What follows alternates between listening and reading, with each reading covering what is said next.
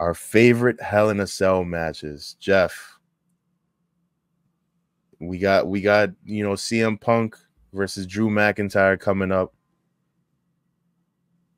The Hell in a Cell, Yes, one of one of my favorite matches. Like, listen, because growing up, I had the the Hell in a Cell, you know, toy that you know you could do the action figure. So me, I was always a Hell in a Cell guy. But what are some of your favorite Hell in a Cell moments? Well, first off, you go call me a mark if you want. I don't care. Uh, Undertaker, Mankind, Hell in the Cell. He broke him in half, threw him off the top of the cage. Where and this is at a time where I'm watching ECW, I'm watching all that stuff, and I still had to clutch my pearls at 98 King of the Ring, watching that happen. Right? Like it was insane to think. And that was just one of the high spots. Then Undertaker choke slams Foley through the cage, tombstones him. He has his tooth through his nose. He Smiling. put a smiling through the pain, put a hole in his tongue. Like that dude became he was dilate before dilate. You know what I'm saying? like that dude was it, bro. And he set the table. Hell in a Cell would not be Hell in a Cell if it wasn't for that match. Mhm. Right? Shawn Michaels and Undertaker, they were the predecessors of it, no doubt. But it became that gruesome, death inviting spectacular when mankind went 20 feet off the cage. One of the greatest stuntmen in the history of wrestling. I- That I man think- Mick Foley. That's one of my that's one of my favorites for sure. I think every like indie promotion that does all those crazy spots has that match to thank. Like whenever you think about all these uh promotions where they're doing all these high stunts, uh, these high spots and stuff like that, I think that's the rush that they're looking for. That that mankind Undertaker moment. It it it really like that's not even a, a great Hell in a Cell match of all time. That's one of the like biggest matches of all time Facts. that that took the WWE to the next level. Like when you really think about it. So I definitely agree with that. I'm trying to think like besides that one, you know, the original uh Hell in a Cell with um Undertaker and Shawn Michaels and I think wasn't that like the debut of uh Kane? Like he that ripped was the door uh off. that was Michael's Undertaker, yeah. that absolute classic moment. And then I feel like Undertaker's just gonna have all of the greatest Hell in a Cell, like Undertaker, Triple H, With Shawn as the ref. Exactly. I think that was 28. WrestleMania 28. Either Yeah. 27 or 28. I mean, it- to have an instant classic at a Mania is one thing. To put it in a Hell in a Cell is a whole nother. Like now you're elevating it, and then they they all go out and it's like, yo, this is.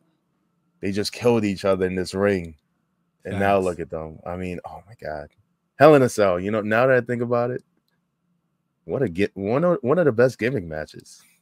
Oh yeah, yeah, for sure, for sure. And and Undertaker definitely has a spot in a lot of people's top fives, top fives, top matches. But even recently, man, because I was looking up Hell in a Cell matches, and when WWE went through that era where every everybody settled beef in Hell in a Cell, that's when it got watered down for me. Because I'm like, damn, your beef isn't even that real. that shit ain't smoke. That shit is like a, a, a pluff. You know what I mean? Like I like I don't know what the hell y'all fighting in Hell in a Cell for. It's like like a, a little- it's like uh powder. you know what I mean? That shit ain't even smoke. It's powder. But uh but yeah, uh I like couple from from this current era. Roman and Jey, the I Quit match. Oh, yes. The the origins of cinema, Mhm. the origins of bloodline cinema. Roman's talking his shit, Bruh. you know, mid match. bruh that that match what, what was that what was that hell in a cell hell in a cell um during a covid year hmm during the pandemic lockdown year. And then of course cody seth. Oh, hell in a cell. At Where- the hell in a cell pay-per-view 2022 with a torn freaking pec. Takes Cody the jacket and Seth went out there and put on a classic, bro.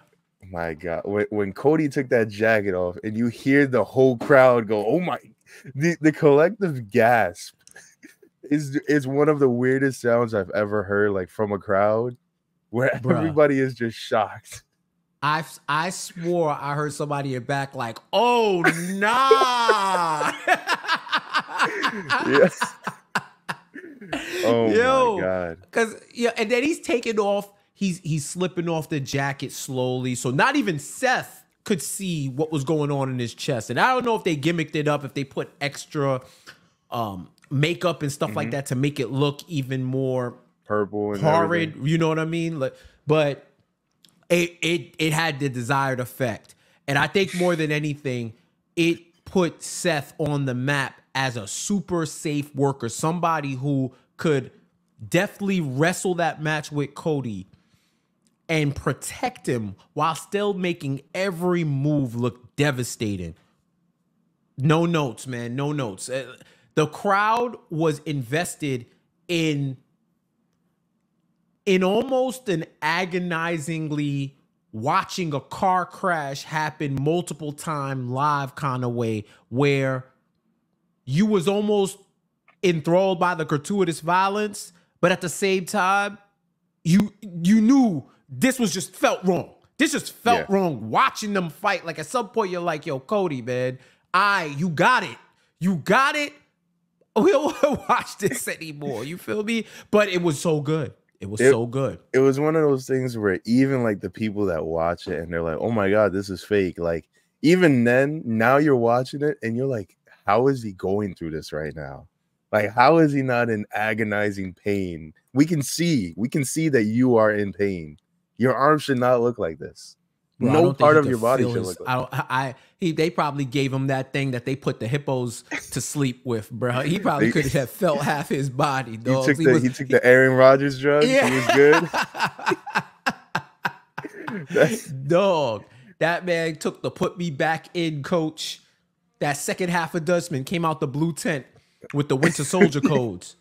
100 listen when he's on joe rogan in like 15 years running for for office somewhere and he's still and joe rogan's like hey jamie pull up that video of of, of seth rollins arm they keep telling me about this Right. and then they breaking it down and, and, uh cody's like you know they just gave me a handful of whatever i didn't even ask and i put on a match you know Dude, was I your my- fucking pec actually tore? That wasn't fake? Motherfucker. jamie pull up a tesla real quick hold on i need to show if he thinks his arm is strong let me show him how these windows Oh man. Crazy. Listen, the the the new era of Hell in a Cells, I'm I'm more curious. Like, I want to see what CM Punk and Drew can do now, because I feel like they've done it all. This feud, it's it's a good feud. Don't don't get me wrong, but Triple H loves him uh, a, a multi-month long feud. Now, after this, there should be no beef between the two. Like, whoever loses, just dap up the winner and be like, "Yo, all right, bro. I don't know what else to be mad at you for. We we've put each other through the ringer. You know, so you've done every type of match, every every uh, you know, every gimmick match and everything like that. Titles have been won, titles have been lost. Let listen, have the match, move on.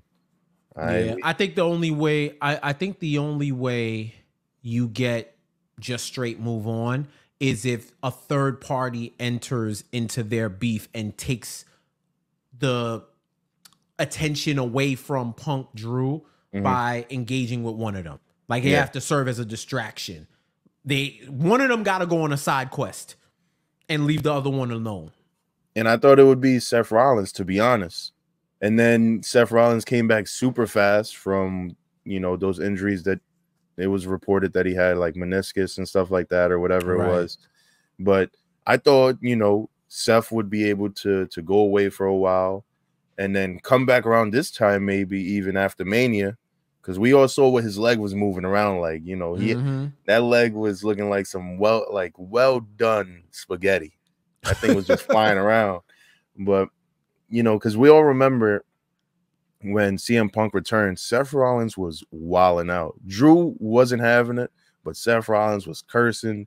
He was looking at him. He was talking so much shit at the at the bottom of that ramp. So, excuse me. So I thought, you know, it would be Drew, and then Seth right after that. You know, with title implications, but obviously Seth didn't. Uh, he lost his title, so that wouldn't happen. But we, I still want to know why Seth was in his bag uh the way he was like because to be honest the only person on the main roster right now that that should feel that way about CM Punk because I don't know what you know what Seth and, and CM Punk's beef is about, but Roman Reigns is the only person who could be like, yo, on his way out, he talked so much shit about me. It was crazy. So Roman Reigns is, you know, on the list, and then Ryback is a little bit above Roman Reigns, you know, when it comes to the hierarchy of hating CM Punk. but we gotta find out what Seth and CM Punk's beef is all about. Pause. But listening to the Black Announce Table. I like your guys' style.